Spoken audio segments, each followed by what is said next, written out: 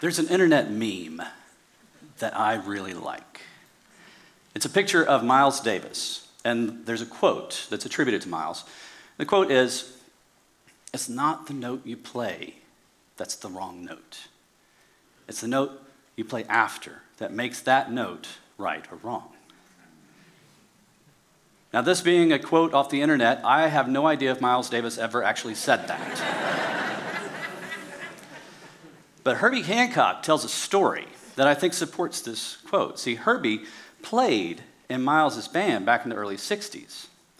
And one night, at a gig in Germany, they were playing the song So What? And in the middle of the song, Herbie played the wrong chord.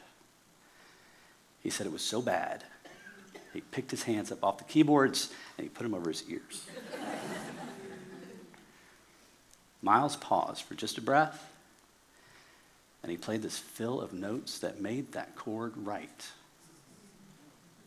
And I like this story even better than the quote because it illustrates the relationship between Herbie and Miles and between Miles and the music. See, Herbie was really, really young, just starting out his career. Miles was well established. Miles was already a legend. Miles could have done anything he wanted to do. He could have stopped the performance, said, hey, take it from the top. Let's get it right this time. Could have humiliated Herbie, maybe even wrecked his early, early budding career. Miles didn't do that. Miles could have just kept playing the song as it was supposed to be played as Miles had written the song to be played. But the audience knew something was wrong.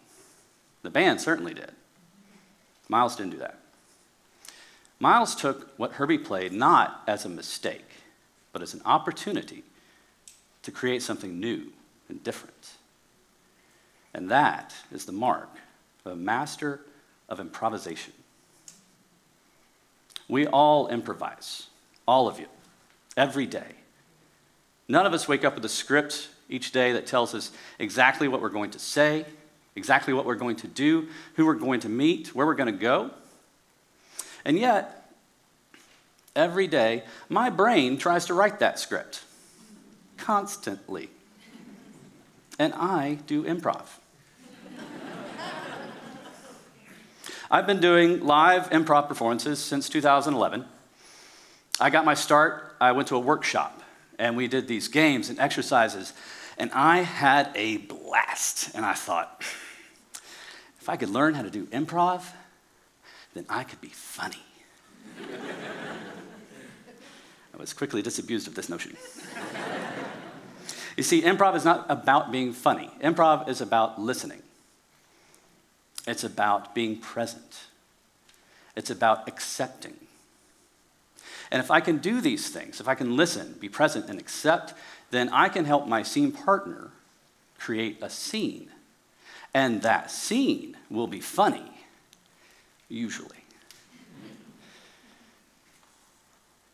Now, there are rules to improv. How weird is that? How can there be rules to something you just make up on the fly? But there are. Don't deny. Make your scene partner look good. Avoid asking questions. Use details. Create a physical environment and play within it. And for God's sake, don't try to be funny. Now, I'm not up here to give you a class in improvisational acting, although I recommend you take one. I'm here to talk about the first rule of improv yes and. So, yes and is the core of improv. And at its most basic, it means that as an improviser, my job is to yes, agree to what was just said or done on stage, then and, add more information to the scene. For instance, it's grandma's 97th birthday this weekend. Yes, and I got her the pony she's always wanted. most beginning improvisers are so trained, including me when I first started out. We are so trained to respond with yes and that we will literally say the words before every line. It makes for some really stilted scene conversations. but more importantly, if all we're doing is parroting, then we're not really grasping the meaning of yes and. See, the yes of yes and is not just dumb, blind acceptance. Or, excuse me, not just dumb, blind agreement, it's acceptance. Y'all accept me, right? Good. It is, it's acceptance. It's the acceptance of the reality of a scene as it's being created on stage. If my partner refers to me as their father, then I am their father. If they refer to me as their mother, then why, yes, I am their mother. It's my responsibility to take that now truth of the scene and move it forward and not deny. Because if I deny that reality, I leave my scene partner out to hang. They now have to struggle to figure out what comes next in a scene that's already broken. If I deny the reality of someone offstage in real life, I'm creating a situation that has one of two outcomes. I either force them to reframe their reality to one that I see fit, that one I deem appropriate, or conflict.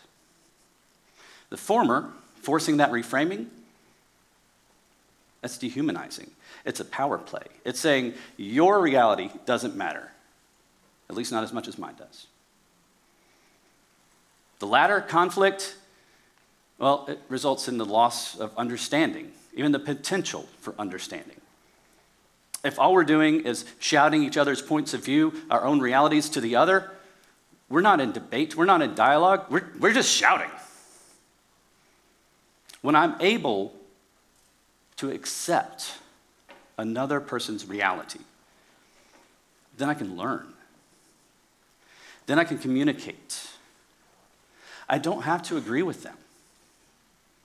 It's my job to open myself up, to become vulnerable, and accept that point of view.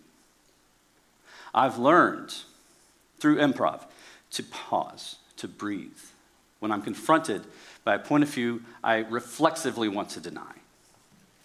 I allow myself the space and the grace to accept, to consider, and if I can do that, and it's scary, then I can form a bond with that person. And we do that enough, and we form a community. One of the things I really struggled with when I was first starting out was coming to the stage, coming into a scene, already having written the entire scene.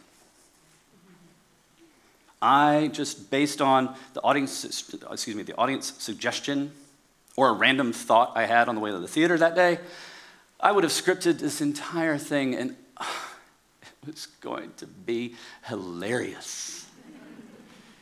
It never worked. You know why? My scene partner was too dumb to read my mind and understand what they were supposed to do to make all of this stuff work. It was extraordinarily frustrating. Over the years, I have learned, I've had to learn, how to empty my mind before and during a scene.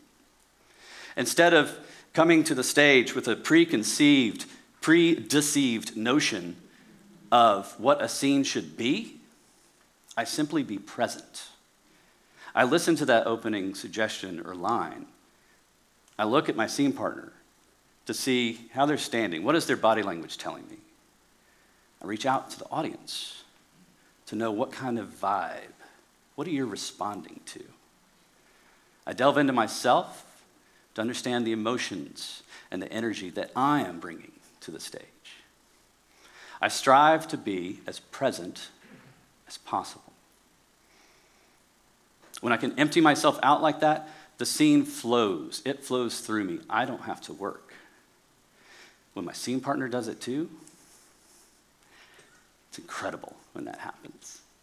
I can't explain it. In, in improv, we call it group mind. When it happens, it's magic. Nothing can go wrong. It's effortless, it's egoless, it's incredible to watch, and it is more incredible to perform. When I'm able to empty myself in life, life flows. There are tragedies, there are celebrations, there are good things, there are bad things. If I attach expectations to those things, it's frustrating. If I can release those and let life flow through me, I have contentment and peace. In Christian theology, there's the concept of kenosis, which is the emptying of the self to allow the Holy Spirit to come in. In Sufism, they have fana, which is to die before one dies. In Liu Cixin's book, The Three Body Problem, he quotes a Buddhist abbot saying, Emptiness is not nothingness. Emptiness is a type of existence. You must use this existential emptiness to fill yourself. And this, this is the kind of emptiness I'm talking about. It's not a denial of self, it's a release of the ego, it's a release of the expectation. And when I can do this, when I can empty myself, and it is hard, then, then I can say yes. The and of yes and is action. One thing I still struggle with all these years later is I want to respond to an offer with the best response I can come up with. An offer is one of those lines that an improviser throws out that's just begging to be picked up and run with, right? So if my scene partner said, That's the last time I run a marathon backwards, there's a lot for me to work with there. I mean, how many times have they run a marathon? Do they always run it backwards, or was it just this one time? Were they the only one running backwards, or was everybody else running backwards too? Why is this the last time they're going to run it backwards? What happened today that made it bad? Did they hurt themselves? Was I supposed to be there? Did they win? Which one of those responses is the best? It doesn't matter doesn't matter. As long as I have accepted, as long as I have yesed, it doesn't matter. As long as I act. Think back to the story about Miles and Herbie. If Miles had simply accepted what Herbie had played, well, that's nice and all. But without Miles acting, playing that fill of notes that made that wrong chord right, well, then Herbie's mistake would have always and forevermore been a mistake. It's wonderful when we are able to be fully present and actively listen to someone's struggles, to someone's pain. It's supportive, it's healing, it's bonding when we can be with that person. And sometimes that's all that's needed. Sometimes it's not. Sometimes there needs to be action. So, I want each of you to pick a day in the next month and make it your personal yes and day. I want you to intentionally yes and every interaction you have that day. Now remember, remember, yes and does not mean you just agree to everything that's asked of you. Otherwise, the kids are going to ask to borrow the car and have a raging party. Don't do that. No, listen. Be wholly present in the moment. Drop those expectations. Accept that point of view that you struggle with. And then act. Thank you.